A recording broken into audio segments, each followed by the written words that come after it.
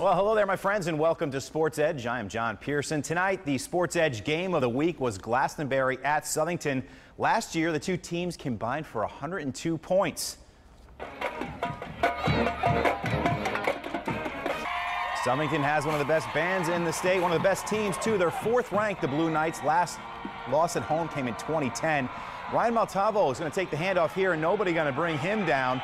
The Knights touchdown gives them a 7-0 lead. I'll tell you what, the team, they're loved in Southington. Another big crowd. Great community support for the Knights.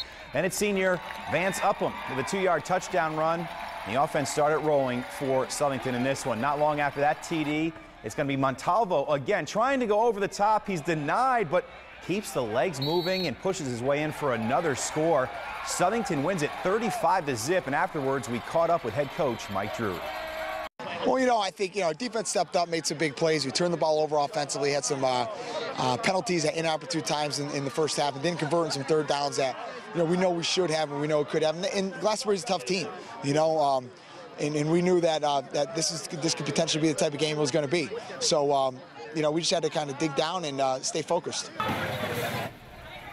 The Knights play at Manchester next week. They are 3 0.